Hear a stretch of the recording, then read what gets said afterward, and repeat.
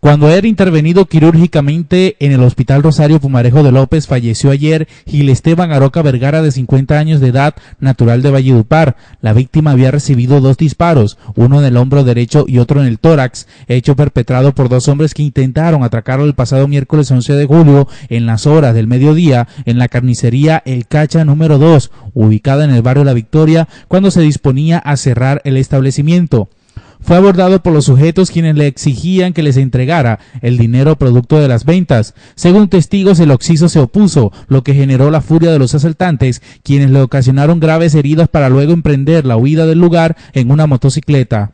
Cuando llegaron dos tipos motorizados y entregara todo, entonces él se resistió, forzajeó con uno de ellos y el otro le disparó.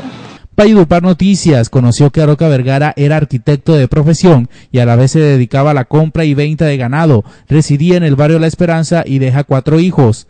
Por este hecho, las autoridades capturaron a una persona quien está siendo interrogada para determinar si se trata de la persona que protagonizó el hurto.